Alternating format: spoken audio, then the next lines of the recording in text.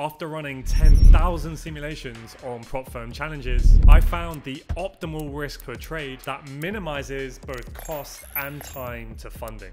It's not what most YouTube traders tell you, and by the end of this video, you'll know exactly how to calculate it for your own strategy. I built a simulator that factors in your strategy stats, challenge phases, drawdown limits, and profit targets. The same mathematical framework that quants use to optimize their risk. And I'm giving it to you for free. But just before we dive in, most traders think that the key to passing challenges is playing it safe, risking tiny amounts like 0.5% per trade to avoid hitting drawdown limits. They spend 6 to 12 months you know, on a single challenge, terrified of losing it. But here is what the simulations revealed. The traders who are getting funded consistently, they're not the ones who are the most conservative. They are the most mathematically strategic. So by the end of this video, you will know the exact formula to find your optimal risk percentage, how to calculate your expected time and cost to funding, how to budget properly for multiple challenge attempts, and the biggest mistakes that traders make to either fail too often or take way too long to pass. Let me show you why this matters with a real example. So let's say you have a strategy with a 40% win rate and you average a 2 to 1 risk to reward and you take on a two phase funding challenge. Phase 1, you need to hit a 10% return. Phase 2, 5% return. You're allowed a maximum drawdown of 10%. You're going for a 100k account size and let's just say that it costs you $500 to do that challenge. So the first approach is taking it quite conservative, which a lot of traders do. So let's say you risk half a percent per trade. Now in this case, your pass rate is going to be really high at 98%. So it's most likely only going to take you one attempt to pass. So it's only going to cost you $500, right? In theory, but it's going to take you 101 trades to pass on average. Okay. So if you average anywhere around 10 trades a month, it's going to take you anywhere from seven to 12 months to pass. The other option is to go quite aggressive and risk 3% per trade. So obviously your pass rate is going to fall significantly to around 67%, which means that it could take you up to three attempts to get funded, which means your cost could be anywhere from $500 up to $1,500 to pass. But here's the key. You need way less trades to pass, so your time to pass is only one to three months. So here is the real question. Would you rather only spend $500 but potentially wait up to a year or $1,500 and get funded within eight weeks? because there are three hidden costs to the conservative approach that nobody talks about. The first is opportunity cost. Every month that you're stuck in a challenge is another month that you're not earning real money on a funded account. Now, let's say in the long run that you can average around 2% per month. On a 100k account, that is $2,000 a month in payouts that are missed. That's $18,000 lost in those extra nine months that you spent trying to just pass one challenge. The second factor is the psychological pressure. You're six months into a challenge, every trade starts to feel like life or death. You're gonna start getting impatient, you're gonna start taking worse trades, and maybe getting like a revenge trade spiral and just blow it all up. And the third factor is rule violations. More time means more chances to hit one of the ridiculous prop firm rules. Whether it's news trading restrictions, you know, tight daily loss limits, or weekend holding rules. The longer that you are exposed, you know, the higher the probability that you violate something. So to summarize, the conservative approach, yes, a higher pass rate, but you're looking at seven to 12 months of grinding, making no real money. That is a massive time investment for no return.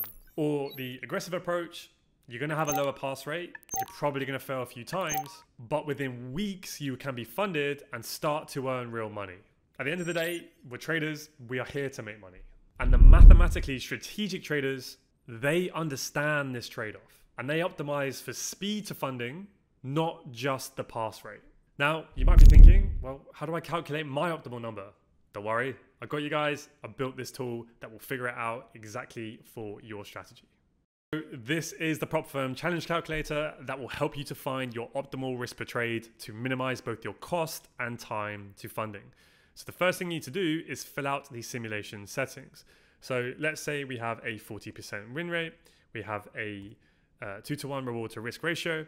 Now you can switch between a single phase or a two phase challenge here, okay? So I've got you covered both ways. Um, let's just say, you know, it's a $500 challenge fee. Let's say 10% target in phase one, 5% target in phase two. We've got max drawdown of 10% in both phases. you can uh, choose between initial or trailing drawdown. Okay, um, initial is what I'll stick with here, and then let's say you're going for the 100k account, and let's just say you've got a 80% profit split. Now, when I run the simulation, this will quickly calculate thousands of Monte Carlo simulations with those strategy rules and with those challenge settings. Okay, so with a 40% win rate and a two to one risk to reward ratio, if you come over here, you can set your risk per trade in each phase. Okay. So with half a percent risk, that's obviously very conservative. Here it's saying you're, basically guaranteed to pass. You've got 97% chance of passing, but it's going to take you nearly 150 trades to get funded. Right, 150. Most people probably average around 10 trades, let's say on average. And again, this has to be you taking high quality trades that meet your plan. So you do actually get a 40% win rate with a two to one reward to risk ratio, right? That's going to take so long to get funded. Now, what if we up our risk to 3% in both there? it's going to run the simulation to make sure it's got the right metrics here. And you can see that our pass rate has now halved, right? We only got a 50% chance of passing. So what I want you to look at is these two middle metrics here.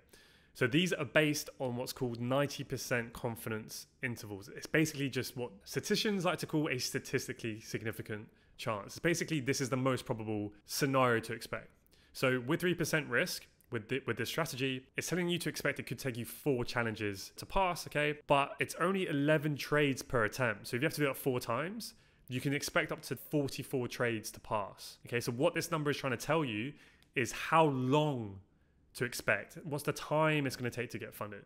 So in this case, it might cost you four challenges, which is $2,000, right? If it's a $500 a challenge, but you can get funded in 44 trades. So let's say you average 10 trades in a month. Now you're down to or a maximum of four months rather than maybe like a year and a half. Okay. And then it'll show you obviously a risk of five consecutive failures. Okay. There is some probability. It's, it's way less likely, but you could, you know, take more than five challenges to pass. Right. And then this, the break even analysis, will tell you that if you do get funded, you only need a two and a half percent return on that 100k account to recover challenge costs. Right, so play around with all the settings in here. The whole point of this calculator is to show you the more that you risk, the quicker you can get funded, but it is going to cost you more in challenges potentially, right? If you're unlucky. But this is the maximum expected cost. It's saying that you should get funded within four challenges, okay? Doesn't mean it will definitely take you four. It's just that it's likely that it shouldn't be more than four challenges. So in this case, if you budget $2,000, right? Worst case scenario, it's going to get $2,000 to get funded, right? This now shows you that you only need, on a 100K account, you only need to make a 2.5% return, and now you've broken even. But actually, it's even less than that because most of the prop firms, when you get a funded account, they're going to refund you your challenge fee anyway. So, this point here is to show you it's actually better to get aggressive with your risk because you'll pass quicker. Yes, you'll fail more, but if you budget enough, then you can get in there, then you can start earning real money and make your return. Now, you can see here there's some more challenge, sorry, more graphs here to show the spread between um, the different metrics here and the detailed table if you don't have to keep flicking through all the buttons. And then it will show you how to um, interpret all the results here if you want to dive into it. So if you want your free copy, link is the first link in the description and you can get this and have a play around with it. Alrighty, you've got the calculator and you know the mathematical framework. But there are three common mistakes that will sabotage everything if you're not careful. And I see traders do this constantly. You know, they plug in their backtest results, 45% win rate, beautiful equity curve. And the calculator says, yeah, risk 4% and you will pass in six weeks. They then go live, they then fail three challenges in a row, and they come back furious. Your calculator is broken. Well, it's not, because when we look at their actual achieved win rate in the live market, it's 38%, not 45%. Their backtest, you know, it's not going to account for your emotions, slippage, and missed trades. So, mistake number one is overestimating your win rate. So, I would recommend you simply reduce your assumed win rate by about 5 to 10%. Stress test it even further. What happens if your win rate is even 10% lower? Can you still get funded with that? And then mistake number two is under budgeting.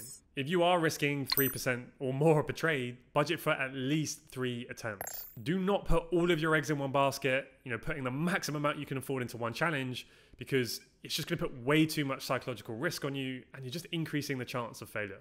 And mistake number three is a really common one. I see so many people talking about this on YouTube, and that is changing your risk during a challenge. I see traders as they start to get closer to their target, you know, they start jacking up their risk per trade to try and get there faster, or you know they hit a losing streak and they start to go into drawdown, and then they drop their risk really low to like 0.25% per trade just because they're scared. Do not do this. Stick to your number. We are at the mercy of random distribution, which means we will never know when our wins or our losses are going to occur. So the catchphrase for this video is to trust the math, not your emotions. So follow these three rules and you will avoid the traps that keep most traders stuck in challenges for months, just making no money. Or that makes them blow through thousands of dollars before they realize their strategy and they are not ready. All right, so now you know the optimal risk per trade to get funded faster. But here's the reality. Having this knowledge is only half the equation. The other half is being able to execute it consistently under pressure, and that is where most traders fail because I've seen it time and time again. You know, traders with really solid strategies and the right risk percentage, they still nearly all blow up within about three months of getting funded. And it's not because their math was wrong, but because they were missing three critical systems that keep you executing at your peak. So I made another video breaking down the three-step framework that separates traders who stay funded from those who blow up. And it will save you months of wasting time and money trying to get funded. Click here to watch it next once it's live, because without these three systems, you are leaving money on the table.